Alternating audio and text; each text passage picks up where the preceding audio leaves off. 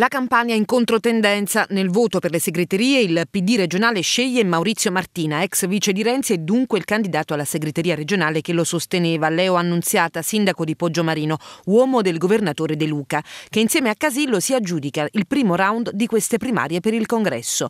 Martina si attesta oltre il 50% a Napoli, nel feudo salernitano del governatore arriva addirittura al 75%, primo anche a Benevento e Avellino, distanziando Zingaretti al 35% e Roberto Giachetti all'8%.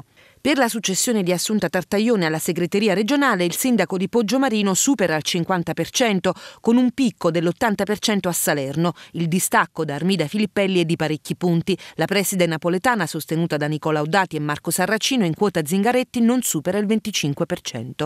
Mentre l'ex sottosegretario Sannita, Umberto Del Basso De Caro, si attesta intorno al 15%. Saranno loro a sfidarsi direttamente per la segreteria regionale del PD nel prossimo turno delle primarie il 3 marzo marzo, questa volta aperte anche ai non iscritti al partito. E non mancano le polemiche. Hanno vinto le vecchie logiche, i soliti signori delle tessere. La Filippelli, unica donna candidata, non nasconde la sua rabbia. E anche ad Avellino Martina sorpassa Zingaretti e nel PD Irpino è subito scontro con il sindaco di Chianchi, Grillo, che invoca l'intervento della magistratura. È una vergogna.